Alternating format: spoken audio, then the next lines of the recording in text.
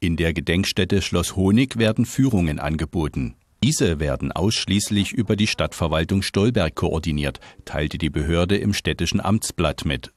Interessenten können sich an Frau Werner unter den eingeblendeten Kontaktdaten wenden, unter anderem auch per E-Mail unter kontakt@gedenkstätte-honeck.com. Außerdem soll Schloss Honig eine neue Homepage bekommen. Gesucht werden jetzt die besten Motive, die auf der Homepage veröffentlicht werden können. Bilder und Fotografien von Schloss Honig können per E-Mail mit einer maximalen Bildgröße von 10 MB an b.eichhorn.stolberg-erzgebirge.de geschickt oder persönlich im Interimsbüro Schloss Honig in der Herrenstraße 5 in Stolberg abgegeben werden.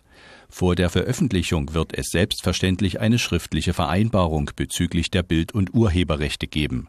Die Fotografen behalten das Copyright für ihre Bilder und werden bei der Veröffentlichung als Autorin neben dem Bild genannt